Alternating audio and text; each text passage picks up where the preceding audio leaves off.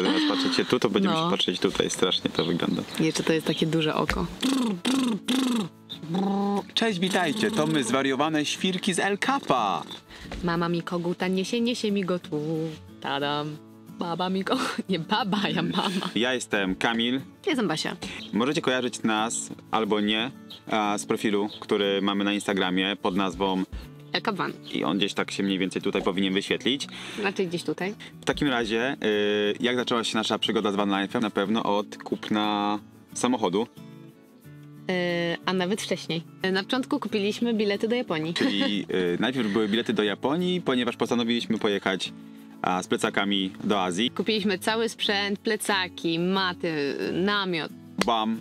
Wybuch COVID. Loty odwołane, dostaliśmy vouchery, które możemy wykorzystać w ciągu trzech lat. I postanowiliśmy, że nie będziemy odkładać znowu naszych marzeń e, przez COVID, bo nie wiedzieliśmy, ile czasu to będzie trwało. I pojechaliśmy do Ustki. I tak sobie siedząc trochę wspólnie z moimi rodzicami stwierdziliśmy, że ten van life, który oglądamy gdzieś cały czas na YouTubie, gdzieś się przejawia w telewizji, na różnych programach. Cały czas to śledzimy, A, zawsze tak. mówimy, o Jezu, ale fajnie by było mieć taki swój domek na kółkach, spakować się i gdzieś jechać. Moi rodzice powiedzieli w sumie to, dlaczego by nie spróbować? Może teraz jest ten czas, może specjalnie tak wyszło z tym wszystkim, że Japonia odpadnie. Długo nie czekaliśmy, bo pamiętam, że na początku kwietnia, chyba 7 kwietnia rozmawialiśmy o tym, że nie, no robimy to, to jest, to jest nasza decyzja. 20 kupiliśmy samochód. Tak. Od razu jak usłyszeliśmy od moich rodziców w sumie, że może byśmy też zaczęli, to zaczęło się wielkie poszukiwanie. Tak, stwierdziliśmy, że chcemy No. na pewno mieć Volkswagena. Na początku Tak. myśleliśmy o te trójce.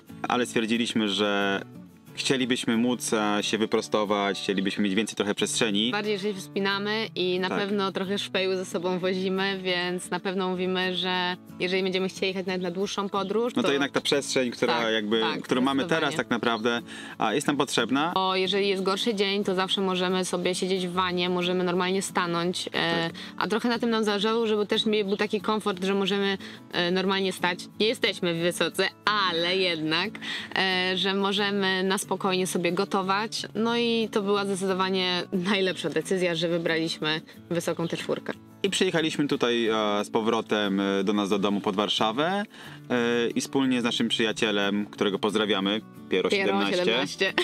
E, w sumie to on znalazł Tak, nam ogłoszenie od chłopaka, który sprzedaje e, samochód. Tak, E, pojechaliśmy 500 kilometrów i to był pierwszy samochód, który oglądaliśmy. Pierwszy i mówimy, nie, no to jest chyba to, Tak. zaryzykujemy. I znaleźliśmy go pod Świebodzinem.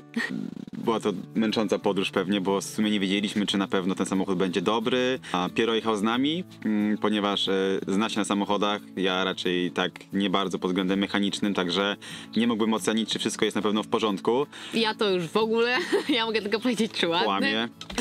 Ja tylko jako e, osoba do negocjacji. Basia jest dobra w zbijaniu cen i, i targowaniu się. Y, Pojechaliśmy, mm, poznaliśmy świetnych ludzi, dzisiaj mamy kontakt i kupiliśmy super samochód w super stanie, mówiąc przysłowiowa igła. Oczywiście daliśmy go później do naszego kolegi mechanika, który nam jakby pomógł udoskonalić go. Przy taką wielką podróżą trzeba było to zrobić. Tym bardziej, że ten samochód stał pół roku e, nieodpalany, e, więc musieliśmy trochę, no wiadomo, zainwestować, żeby się nadawał, tak, żeby był niezawodny w naszą podróż, bo nie jesteśmy mechanikami. E, wiadomo, jakieś podstawowe rzeczy zrobimy, ale jakby coś tam tam łupnęło w No podróży, jeszcze koła nie wymienialiśmy, także nie wiemy w sumie, czy to dobrze, czy źle. Tak, a może w ogóle Tak. powiemy o tym, e, jaki to jest samochód. Samochód jest to Volkswagen T4 y, z wysokim dachem, a z 96 roku, Roku. czyli stary. Nie stary, bo to jest mój rocznik, więc absolutnie nie stary. który śmiga i który nas zawiedzie pewnie jeszcze wiele miejsc. Silnik 2.4. No i jak go kupiliśmy, to miał ile? e, Miał przejechane bodajże jakieś 220 parę kilometrów, bo Tysięcy warto... Tysięcy, tak. kilometrów. Tysięcy kilometrów. Taki malutki szczególnie. Tego typu samochody są bardzo dość mocno eksploatowane.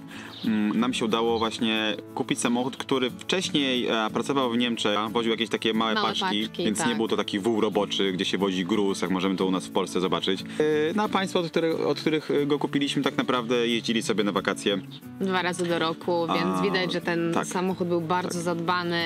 I na tym nam E, zależało bardzo, żeby, żeby kupić samochód, który będzie też niezawodny. Się udało. I Udało się. spełniliśmy swoje marzenie. E, Podpisaliśmy umowy, I wróciliśmy No i co? od razu na pierwszy strzał. a przejechaliśmy pię- 500, tak? 500, 500 kilometrów. kilometrów. I było super. A jeszcze po drodze odwiedziliśmy oczywiście Świebodzin, bo był To był po nas- drodze, więc to był nasz pierwsza pierwszy podróż. trip. Tak. Yy, No i wróciliśmy i stwierdziliśmy, że w ogóle wow, że on dojechał jakby, na, jakby po takiej dłuższej przerwie, że Tak. się nic z nim nie stało.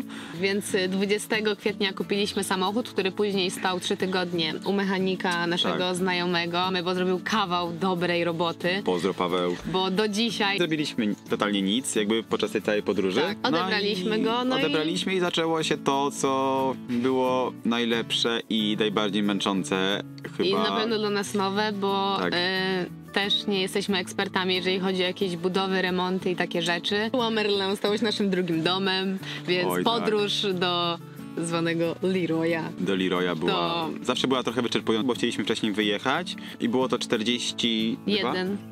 Jeden dni?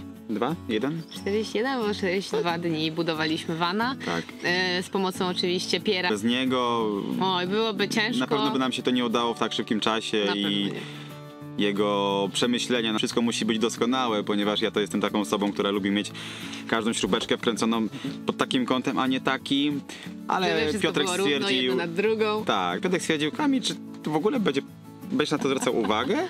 Ja sobie tak pomyślałem na początku, że no w sumie tak, ale po pół Teraz roku już wiemy, y, że nie. stwierdzam, że nie. Budowaliśmy vana w trójkę, no i jedyną osobą taką dodatkową był w sumie elektryk, Y, Jarek, który Jarek, też nasz znajomy. pozdrawiamy. E, Jarek też pierwszy raz robił w Pierwszy ogóle raz w vanie. robił w wanie i Podjął ryzyko. van był zrobiony, potem było pakowanko. Ruszyliśmy po prostu na początku Niemcy, Francja, Hiszpania i Portugalia. Na pewno o tym też nagramy osobno, bo Tak. e, oj, dużo by tu mówić. jedynymi pineskami na mapie, które jakby nam trochę tą trasę jakby tak warunkowało, a były miejscówki wspinaczkowe, które, y, które chcieliśmy odwiedzić. które zaplanowaliśmy, a, że chcemy w nich tak. być. I jakby po, między nimi ten obszar, tą trasę, którą pokonywaliśmy. To było na to, był- to spontanie był pełen totalnie. spontan.